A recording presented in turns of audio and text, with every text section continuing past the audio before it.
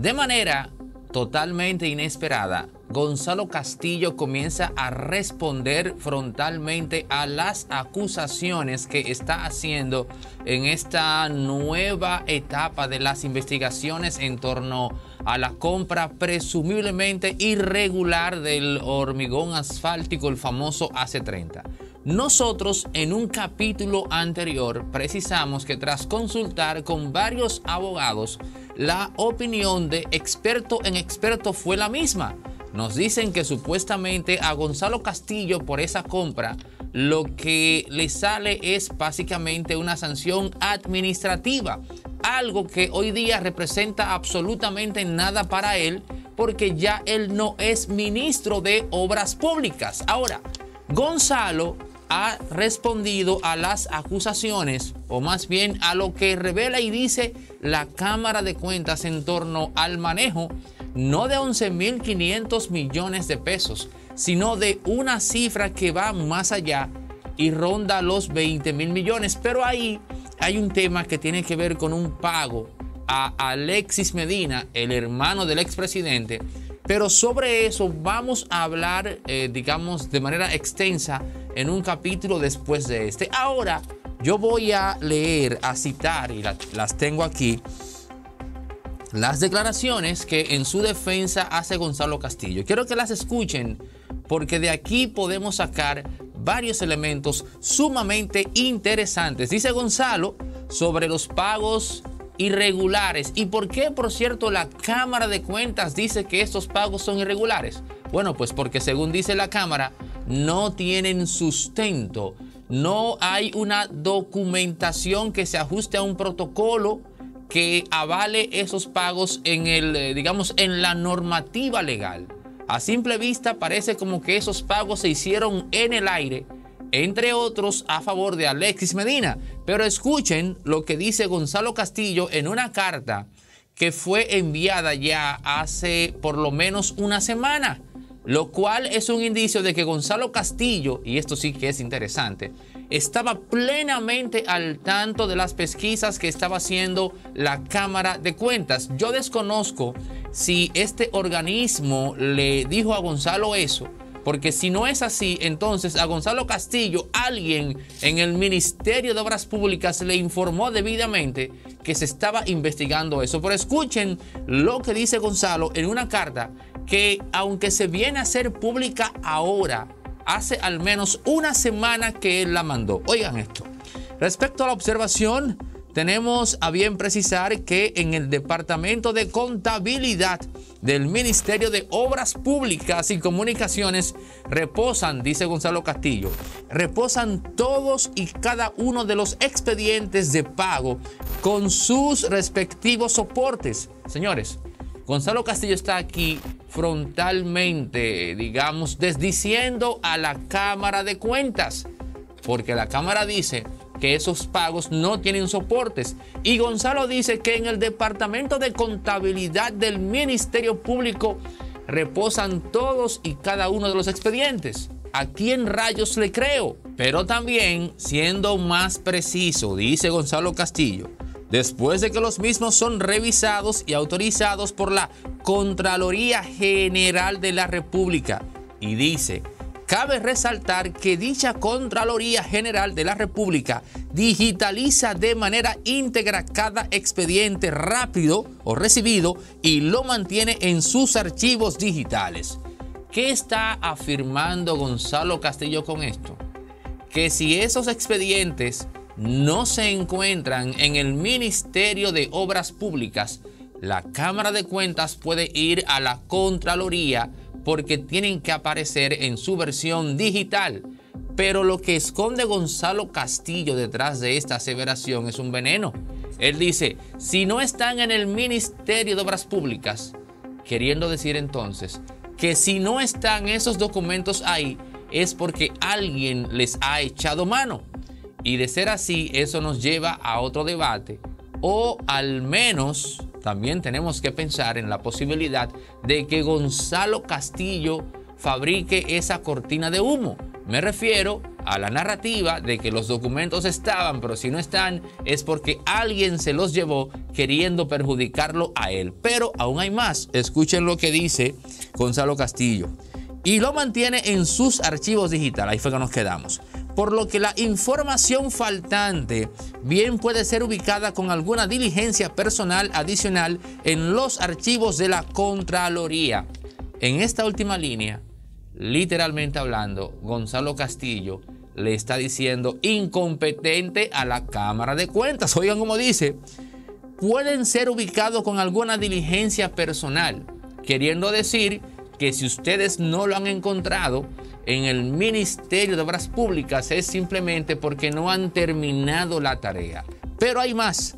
También solicitó, y esto sí que es importantísimo, Gonzalo Castillo está revelando que solicitó, oigan esto, al actual ministro de Obras Públicas y a la Contraloría General en fecha del 17 de noviembre del año 2021 los expedientes y documentos faltantes a fin de que se permita realizar los análisis completos de la documentación referida para dar respuesta a las cuestiones planteadas como objetivos del informe y de esa manera remitirlas a la Cámara de Cuentas. Todo indica a que Gonzalo Castillo no ha recibido respuesta del actual ministro de Obras Públicas. Ahora bien, que tengamos a la nueva Cámara de Cuentas, y digo nueva porque tenemos que recordar que hasta hace poco estaba en manos de Hugo Álvarez. Y si bien es cierto que Hugo Álvarez terminó, según se dice, diciendo y confesando a Wilson Camacho que las auditorías que él había realizado en su gestión estaban maquilladas, a pesar de esa revelación, Hugo Álvarez no era un elemento de confiar para, para el Ministerio Público, menos aún para la Procuraduría General. Y ha sido la gestión de Janel Ramírez, el nuevo presidente de la Cámara de Cuentas, bajo la cual se está volviendo sobre los pasos de las cosas que Hugo Álvarez hizo de manera a medias o simplemente maquilladas. Y es ahí donde surge esto. Y surge también un elemento que vamos a, que vamos a analizar de manera compleja en otro capítulo. Y es la relación de Gonzalo Castillo y Alexis Medina que por fin sale a flote. La conexión, la relación económica entre ambos. Ahora, que Gonzalo Castillo, y este es el punto de análisis, que Gonzalo Castillo salga confiado a responder a la Cámara de Cuentas diciéndole que si no aparecen esos eh, expedientes, eh, sugiriendo que es porque quizás se los llevaron, que él salga en esa postura no es más que, digamos, la verificación de lo que planteamos capítulos atrás, que Gonzalo Castillo estaba ahora mismo, digamos, confiado en que lo único que le tocaba a él por esa compra de ese hormigón asfáltico, el AC30, que involucró unos 11.500 millones de pesos, lo único que le tocaba a él era una sanción administrativa. Lo que hoy día, tomando en cuenta que él ya no es ministro de Obras Públicas, equivale a absolutamente nada. Si no fuese así, créanme que Gonzalo Castillo no se hubiese atrevido a mandar esa comunicación. Y ciertamente, tenemos que sopesar la osadía de Gonzalo Castillo en responderle a la Cámara de Cuentas. Porque aunque ahí nos habló de Jenny Berenice, Wilson Camacho o Miriam Germán, esa respuesta va también para ellos tres. La solución definitiva para que durante toda la vida pagues la energía eléctrica al mejor precio del mercado es que instales en tu casa, residencia o empresa paneles solares de la mano de la empresa más eh, experta en esa área en República Dominicana y esa es Ser Solar. Puedes llamar ahora mismo o entrar a sersolar.com y enterarte cómo es posible que le saques provecho al sol más allá de un simple día soleado de playa. Entra y verifícalo, sersolar.com o llama ahora mismo. Hay mucha gente, y entre ellos incluyo al equipo de Impolíticamente Correcto, que necesita perderse un fin de semana en un hotel para desestresarse después de mucho trabajo. Y para eso yo recomiendo siempre a Viaja Tours. Hay que destacar que te garantizan seguridad total en la transacción de pago puedes pagar con criptomonedas y si vas referido por impolíticamente correcto, tienes un 10% de descuento. Viaja Tours con el, con el catálogo más amplio de hoteles de República Dominicana y puedes eh, disfrutar de un 10% si vas de descuento si vas referido por nosotros.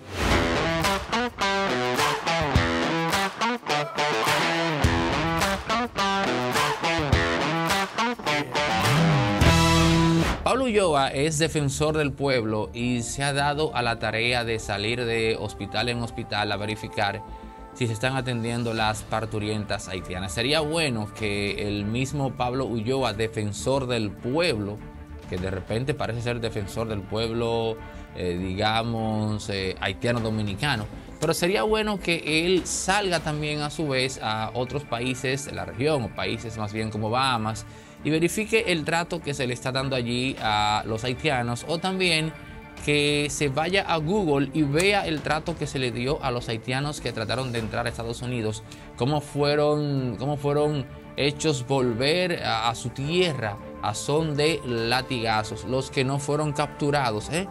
como si se tratase de vacas. Hay mucho que citar en torno a cómo otros países han manejado el tema de la migración haitiana. Ahora, de cara a República Dominicana, la susodicha Corte Interamericana de los Derechos Humanos ha vuelto sobre sus pasos a criticarnos y aquí tiene República Dominicana que introducir un argumento rápido sobre la mesa. Y es el hecho de que no se puede acusar a esta nación de faltas graves en torno a los derechos humanos porque si esas parturientas vienen a nuestro territorio, lo hacen porque en Haití tienen deficiencias a nivel sanitario.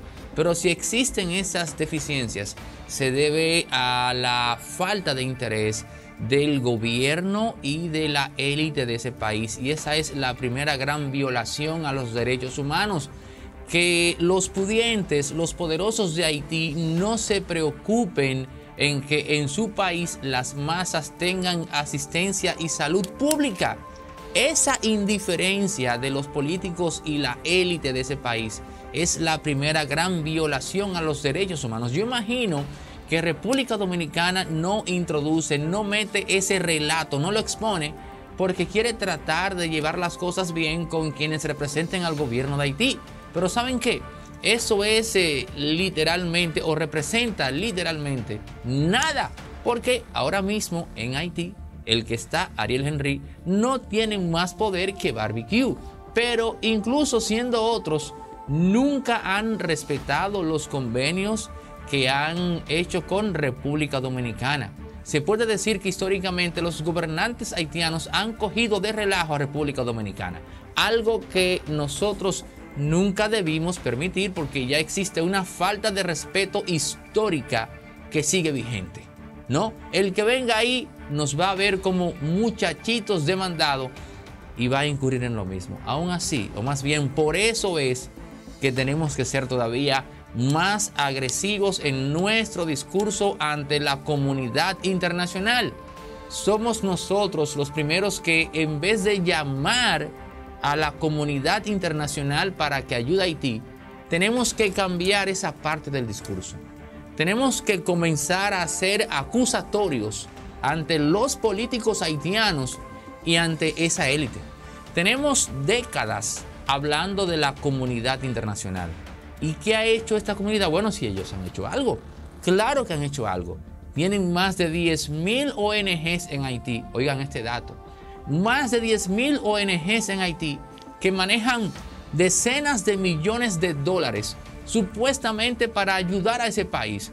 Y 30 años después, ese país sigue siendo pobre y ese dinero que llega a esas ONG se quedan en las manos de ciertas personas que dejan caer dos o tres dólares a la gente para, literalmente hablando, allantarlos. Así pues, lo primero que tenemos que hacer es cambiar el discurso. Olvidémonos de la comunidad internacional.